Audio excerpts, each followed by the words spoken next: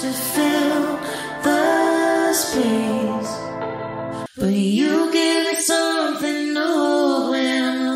This tool will allow you to pull vocals from songs or even create your own instrumentals. Add your track to the timeline. Let's sample it.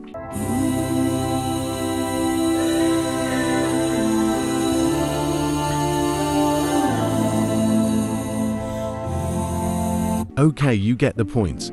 With the clip selected, go to the right hand side of the screen menu and under the Basic tab, scroll down to the Vocal Isolation tool. Checking the box will open the options. Use the drop down menu. First I will use the Keep Vocals options once the clip is done processing. This will remove the instrumentals and keep the vocals. It will change the audio clip in the timeline once finished. Let's test it out.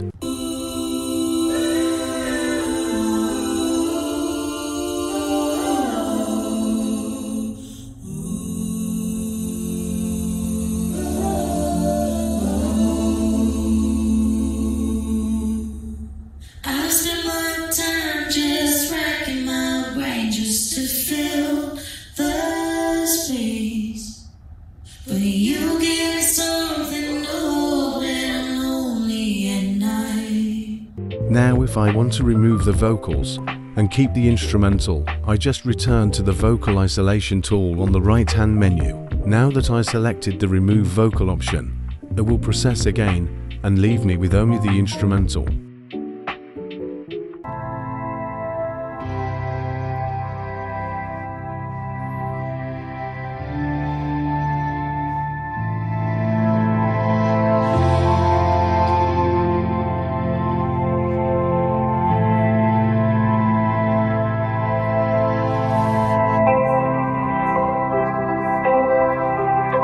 Absolute perfection. Watch out for copyright. Thank you for watching. If you found this video helpful, please take the time to like, comment and subscribe as it helps us to further please our YouTube overlords. Check out more links in the description for continued assistance on your CapCut projects and please keep your arms and legs inside the craft until it comes to a complete stop. Be sure to mind your headspace and watch your step as you exit. Failure to comply may result in serious injury or death.